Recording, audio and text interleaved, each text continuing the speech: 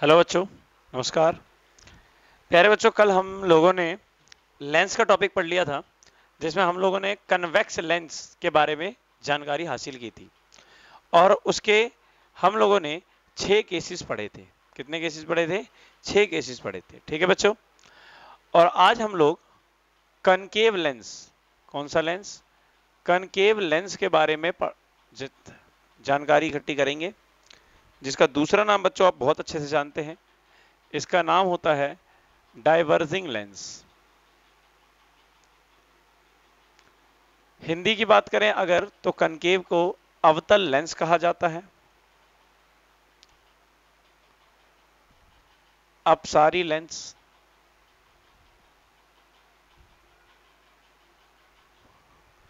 अपसारी लेंस। ठीक है भाई? और इसके बाद बच्चों, हमें क्या करना है? कनकेव लेंस को अगर हम पढ़ें तो कुछ इस टाइप का होता है कनकेव लेंस आपको पता ही है सी ऑप्टिकल सेंटर इसमें कुछ नया नहीं है। यही आपका F1 यही आपका 2F1 ये आपका F2 और ये आपका 2F2 कोई भी प्रॉब्लम इसमें? सारी जानकारी आपको पहले से हासिल है, कौन सी है, कौन एफ़ है, सब कुछ आपको सेम कन्वेक्स लेंस की तरह ही है, ठीक है? तो नोट कीजिए इसको अगर करना चाहते हैं, नहीं तो फिर मैं रूल करवाता हूँ, ठीक है? Rule number first rule number first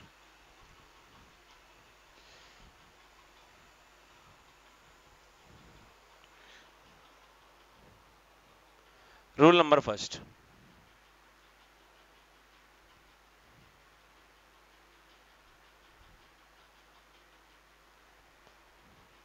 ये F1 ये 2F1 ये F2 ये 2F2 प्यारे बच्चों, ये प्रिंसिपल एक्सिस से रे पैरेलल गई और आपको पता है डाइवर्जिंग लाइन से तो टकरा के उस तरफ़ निकल जाएगी। सही बात है, लेकिन आप आप तो कहोगे कि सर आपने सिखाया है कि हमेशा फोकस से जाती है। तो जी, बिल्कुल जाती है। तो फोकस से पता है ये इधर नहीं जाएगी, ये पीछे की तरफ़ आएगी बच्चों। इसका जो फोकस होता है वो किस तरफ़ बनता है बच्चों? पीछे की तरफ़ बनता है। किधर बनता है? पीछे की तरफ़। ध्यान रखना। रूल नंबर दो।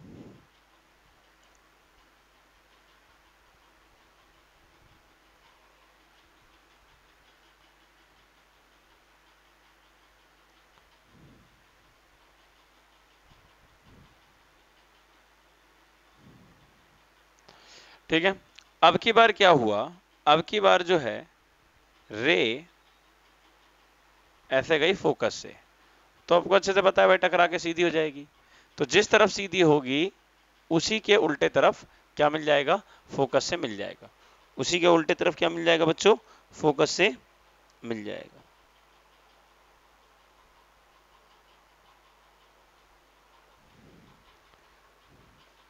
हम्म, एक मिनट एक मिनट एक मिनट एक मिनट बच्चों गड़बड़ हो गई। सॉरी सॉरी फोकस से ऐसे नहीं जाएगा तो डबल हो जाएगा ना फिर। ये ऐसे नहीं जाएगा।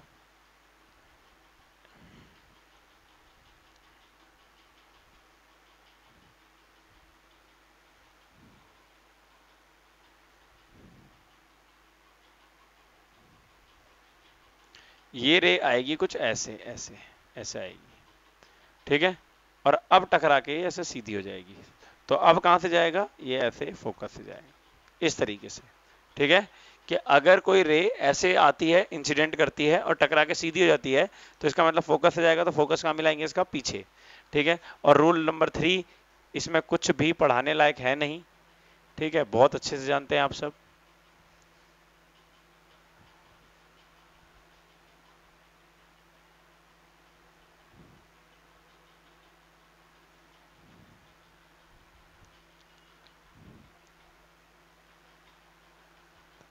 सी से गया और सी से ही पार। ठीक है?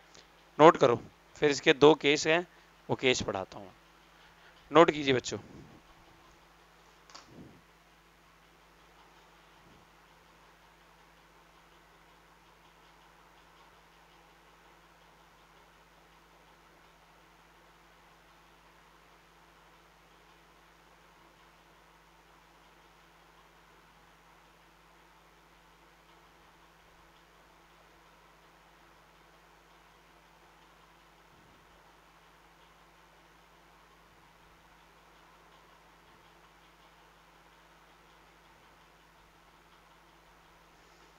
चलिए नोट कर लिया होगा आपने ये।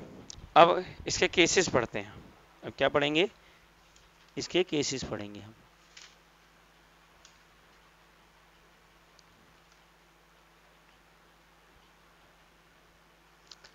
बच्चों, इसके दो ही केस हैं, जैसे कि मैंने आपको बता रखा है।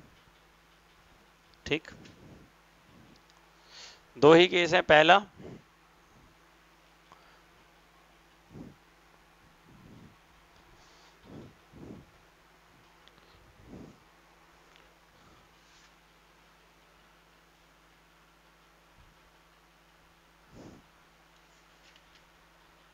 ठीक है?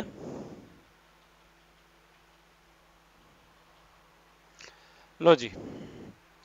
पहला case when object is placed between कहाँ पर? बिटवीन सी एंड इंफिनिटी जब वस्तु को सी और अनंत के बीच रखा जाए। अनंत के बीच रखा जाए। ठीक है बच्चों? तो देखेंगे ध्यान से। ये प्यारे बच्चों, आपके पास हो गया लेंस। ये हो गया सी। ये हो गया F1 ये हो गया 2F1 ये हो गया F2 ये हो गया 2F2 अब इनके बीच में इन्फिनिटी तो कहीं तक भी हो सकता है तो कहीं पर भी रख लो। मान लीजिए आपने यहाँ पे रख लिया। ज़रूरी नहीं यहाँ यहाँ भी रख सकते हो, यहाँ भी रख सकते हो, कहीं भी रख सकते हो। और रह गई ऐसे। आपको पता है कि ये डाइवर्जिंग लेंस है तो टकराने के बाद इस तरफ़ मुड़ जाएगी। लेकिन इसका फोकस किस तरफ़ आएगा? इसका फोकस पीछे की तरफ़ आएगा। अब दूसरी रे हमेशा कहाँ से जाती है बच्चों? दूसरी रे हमेशा सी से जाती है। तो दूसरी रे हमेशा सी से जाती है, ये गई सी से। तो कहाँ पे काटा इसने? यहाँ पे। तो यहाँ पे बना देंगे ए डैश बी डैश आइए इसके इमेज के बारे में बात करते हैं। प्रतिबिंब के बारे में बात करते हैं। हाँ जी, पहला, कैसा बनेगा? जल्दी बता दो। हाँ जी, कैसा बनेगा? देखो वर्चुअल है और रियल है। तो यहाँ पर इसका मतलब सीधी सी बात है। पहली बात, कहाँ बनेगा? Between C and F one कहाँ पे बनेगा? Between C and F one यानी जो इमेज बनेगी बच्चों, वो सी और एफ़ वन के बीच बनेगी। सी और एफ़ वन के बीच। दूसरा, कैसा बनेगा? Smaller than object smaller than object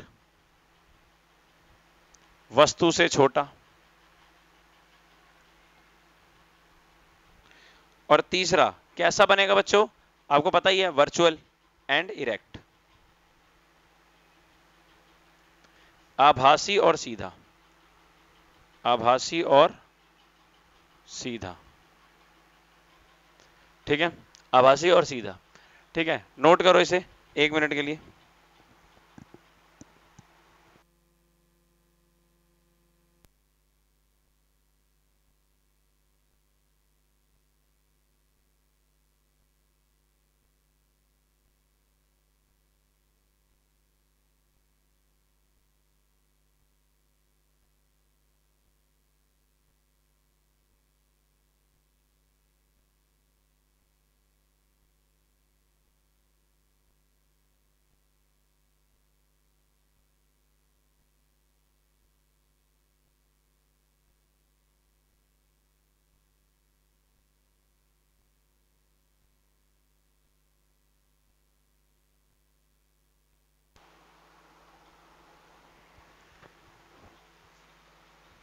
हाँ जी बच्चों तो सेकंड केस देखेंगे अब। When object is placed at infinity ऐसा बना रहा हूँ सिंबल ठीक है? जब वस्तु को अनंत पर रखा जाए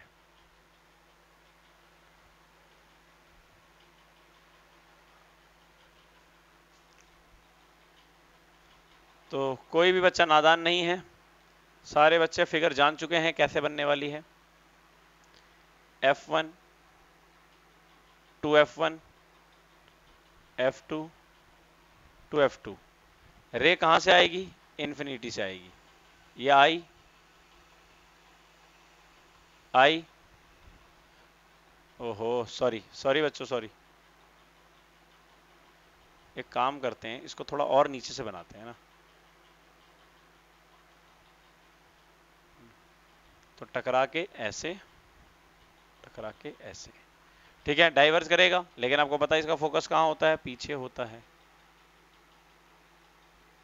पीछे होता है तो ये रहा।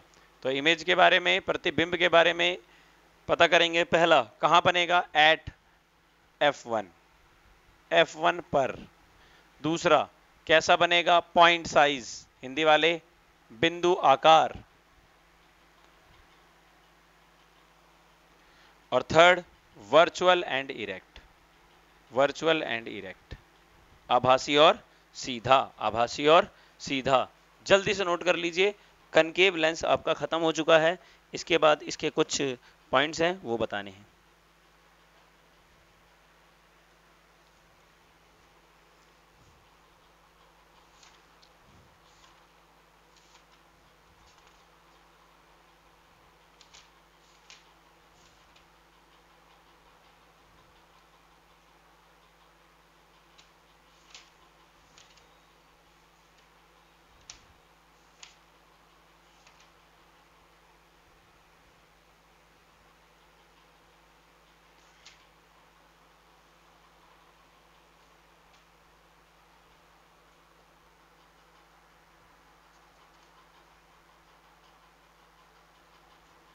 ठीक है जी? चलो बच्चों, अब पढ़ेंगे हम लेंस फॉर्मूला। क्या पढ़ेंगे हम? Lens formula. ये नोट कर लिया होगा आपने, सभी बच्चों ने। और यही दो केस थे इसके। ठीक है, ये चैप्टर अब एंड की तरफ़ बढ़ रहा है और इस चैप्टर को आज खत्म करा के आपके ये क्लास यहीं समाप्त। उसके बाद इसके न्यूमेरिकल्स ठीक है? इसके न्यूमेरिकल्स की सीट आपको पीडीएफ के फॉर्म में दी जाएगी और वही कराया जाएगा। ठीक है? चलिए। देखिए जरा। हाँ जी लेंस फॉर्मूला हिंदी में भी लेंस सूत्र।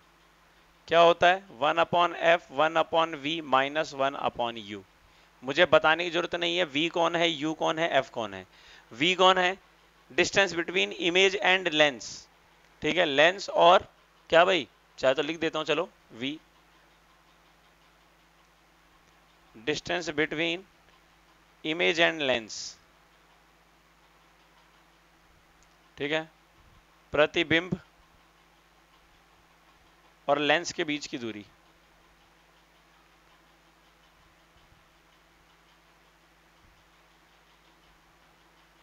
U distance between object and lens lens यानी क्या वस्तु और वस्तु और लेंस के बीच की दूरी।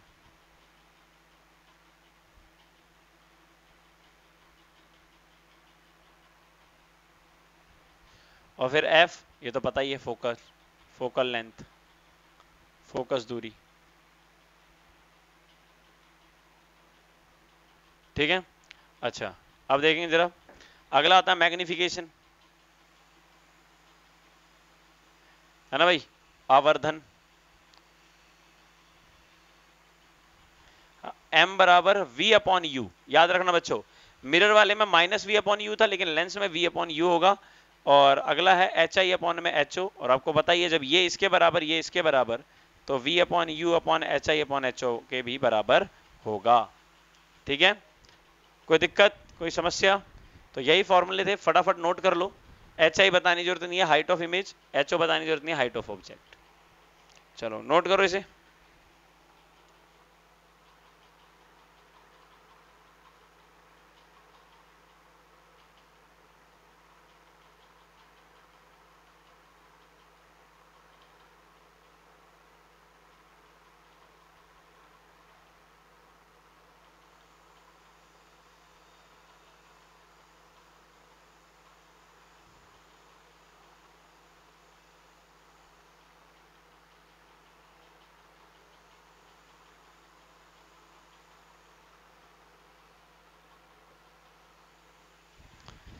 ठीक है जी? चलिए मिटाओ इसको।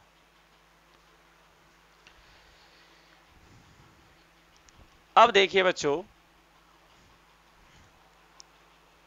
अब देखिए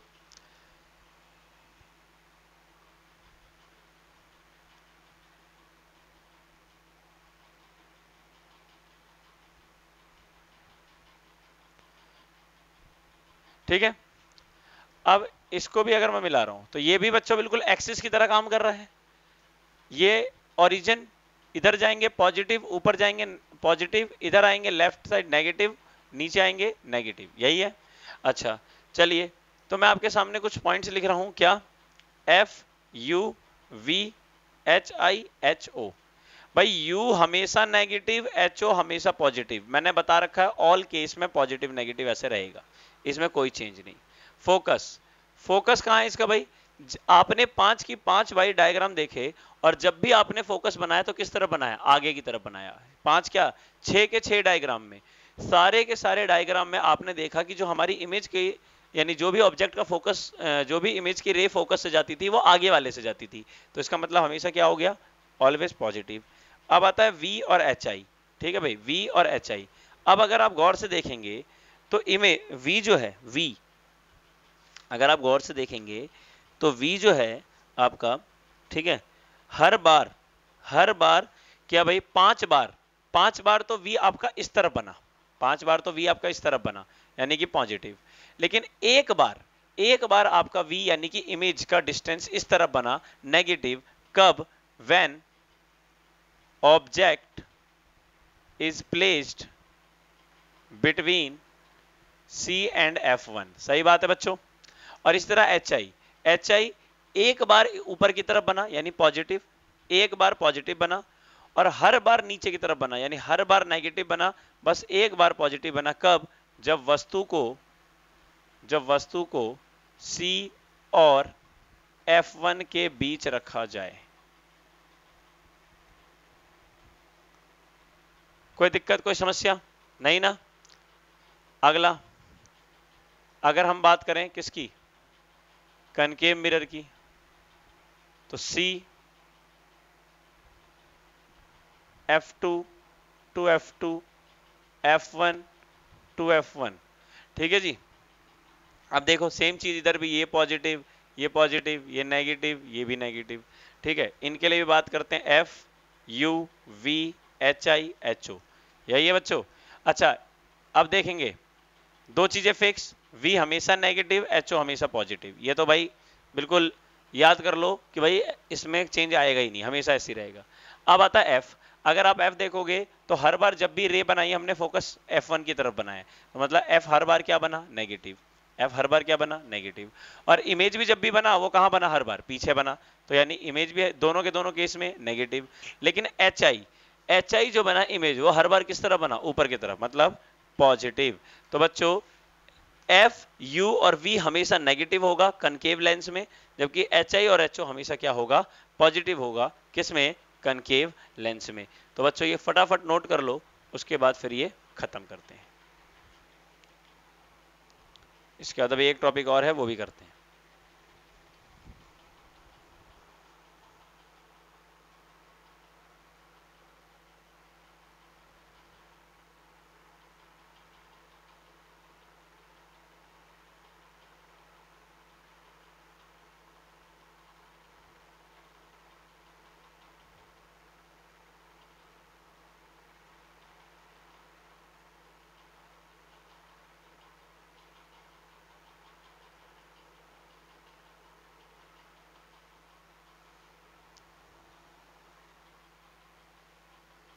ठीक है? चलो अच्छो इसे मिटाते हैं, फिर आगे बढ़ते हैं।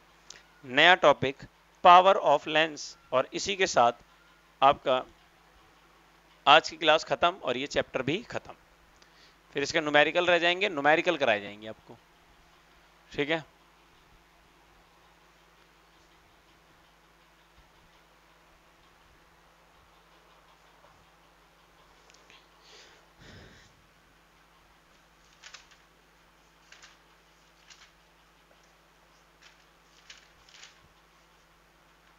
चले बच्चों। अब एक आता है पावर ऑफ़ लेंस अब क्या आता है? पावर ऑफ़ लेंस लेंस की शक्ति। क्या है बच्चों ये पावर ऑफ़ लेंस समझेंगे जरा ध्यान से। प्यारे बच्चों, आपको मैं ये बताना चाहूँगा कि पावर ऑफ़ लेंस में अगर आप ध्यान से देखेंगे तो आप सभी को ये बात नोटिस होगी कि देखो कई बच्चों को आपके क्लासेस में चश्मे लगे हुए हैं या हो सकता है आपको खुद भी लगा हो। तो आप जब भी किसी को नंबर बताते हैं अपना तो बताते हैं कि भाई मेरा minus one point two five है। माइनस वन है, minus one point seven five है, minus zero point five zero इस तरीके से नंबर बताते हैं, ठीक है? कुछ बच्चे प्लस में बताते हैं, मेरा भाई प्लस में टू है, मेरा भाई प्लस में वन है, प्लस में वन पॉइंट फाइव है, प्लस में ज़ीरो पॉइंट फाइव है तो यानी क्या? ये प्लस और माइनस क्या चक्कर है भाई? ये प्लस और माइनस कहना क्या चाहते हैं? तो आओ बताते हैं। भाई, दो तरह के लेंस होते हैं हमारे पास, इसमें कोई गलत बात नहीं है। कन्वेक्स और कनकेव लेंस। अवतल और उत्तल लेंस। अब याद रखना हमेशा कि भाई, कन्वेक्स लेंस जब भी यूज़ करेंगे तो उसका क्या होगा भाई? उसका नंबर प्लस में दिखाएँगे। जबकि कनकेव जब भी लेंस यूज़ करेंगे तो उसका नंबर हमेशा किसमें दिखाएँगे? माइनस में दिखाएँगे। किसमें दिखाएँगे?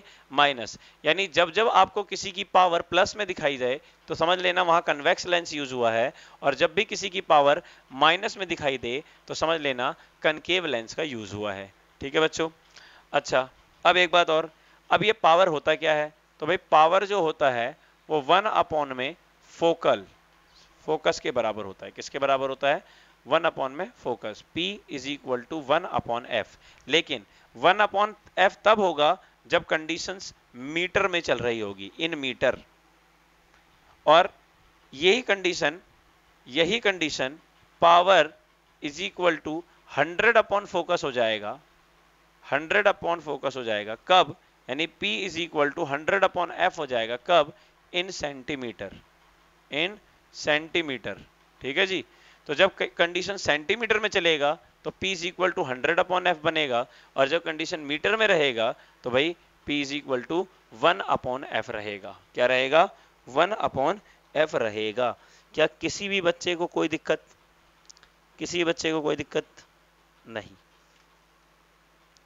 ठीक है? अब याद रखना भाई। तो अगर आपसे कोई पूछे कि power of convex lens convex lens ठीक है?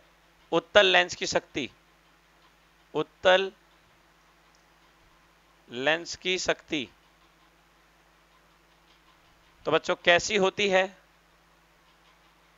कैसी होती है? पॉजिटिव और अगर आपसे कोई पूछ ले पावर ऑफ़ कनकेव लेंस ठीक है? अवतल लेंस की शक्ति। कैसी होती है? जल्दी बता दो। तो भाई नेगेटिव होती है। कैसी होती है? नेगेटिव होती है। ठीक है? अब बात आती है भाई, हर चीज़ को मेजर करने की एक ऐसा यूनिट होती है। हाँ कि ना? तो बिल्कुल। तो पावर की ऐसा यूनिट क्या होती है? तो लिखेंगे ऐसा यूनिट ऑफ़ पावर ऐसा यूनिट ऑफ़ पावर तो प्यारे बच्चों, ऐसा यूनिट ऑफ़ पावर होता है डायोप्टर क्या होता है? डायोप्टर सिंबल होता है डी ठीक है? ऐसा ही मात्रक जो होता है, ऐसा ही मात्रक। किसका? शक्ति का। शक्ति का ऐसा ही मात्रक डायोप डायोप्टर होता है। क्या होता है? डायोप्टर होता है, जिसका सिंबल होता है डी क्या होता है? डी यानी अगर कन्वेक्स लेंस का देखोगे तो आंसर निकलेगा प्लस का डी और अगर कनकेव लेंस में देखोगे तो आंसर निकलेगा माइनस का डी ठीक है? तो यानी अगर प्लस का डी दिया हुआ है तो कन्वेक्स लेंस माइनस का डी दिया हुआ है तो कनकेव लेंस ठीक है बच्चों? इसे नोट करो जल्दी से। ये यहीं खत्म होता है। एक लास्ट और पढ़ा देता हूँ कॉम्बिनेशन ऑफ़ लेंस फिर खत्म कहानी। कॉम्बिनेशन ऑफ़ लेंस और पढ़ लो बच्चों। फिर आज की क्लास यहीं खत्म करते हैं।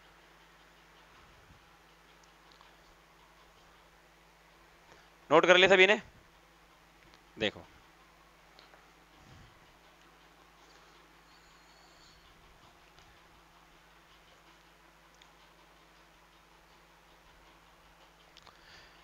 टॉपिक का नाम कॉम्बिनेशन ऑफ़ लेंसेज लेंसों का संयोजन.